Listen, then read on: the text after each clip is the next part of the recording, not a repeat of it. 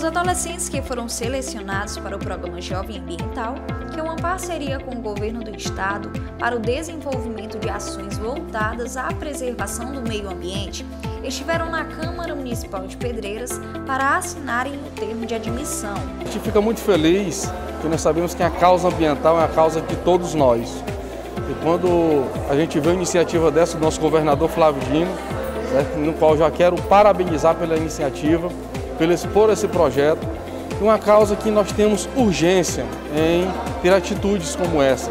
É, a nossa juventude é, tendo oportunidades é, para exercer um papel muito importante é, no meio ambiente.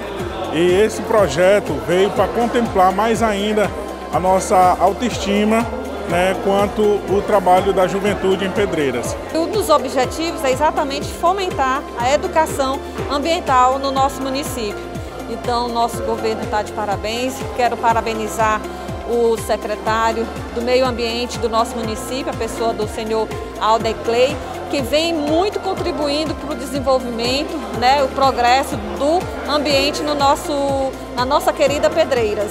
A expectativa é de que possam contribuir com o município na manutenção das ações ambientais. Ser uma das 10 pessoas que foi escolhida é um grande privilégio e a gente tem que agarrar esse privilégio e levar em consideração que estamos ajudando ao meio ambiente estamos trabalhando para isso sempre, durante esses 12 meses. Me senti muito feliz e que isso é, é muito bom, um programa desse assim para poder ajudar o meio ambiente, porque a gente sabe que o nosso meio ambiente é muito bom, então eu estou muito feliz em participar desse projeto.